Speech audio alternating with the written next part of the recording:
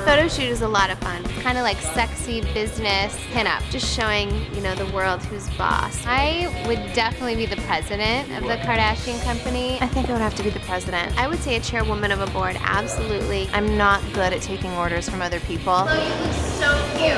I have different you know, companies that I'm involved with. I love bossing people around. Whether it's my ShoeDazzle company. I love firing people and hiring people. Or my closet organizing business. I like to stay the quietest, but when it comes to business stuff, I would say that I kind of lead them. I'm gonna be fired. Season five of Keeping Up with the Kardashians. There's a lot going on. We've kind of been raised as triplets. We're always together, always done things together, always labeled as a trio, which we love.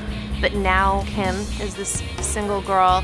Kourtney is a mother and has a baby. I'm married. It's a lot to try to adapt to that in one year. This season, you'll see me being single and living the single life. She's going on dates with multiple people. Khloe is the, like, has no patience for me because I'm like a really indecisive person. Kim is not good at being single. She's not good at living alone. She's 28 years old and she is not good at just, I'm like, you're 28, how are you not good at doing these things? Kourtney is like really calm and talks me through everything, but Kourtney doesn't have as much time, so it's like I'd want more of Kourtney's attention, but I'm stuck with Khloe's and she's really harsh. She's very kind of needy and clingy and we didn't realize like how, she was never like that, so we're like, what, you gotta step it up, woman. I work with what I've got.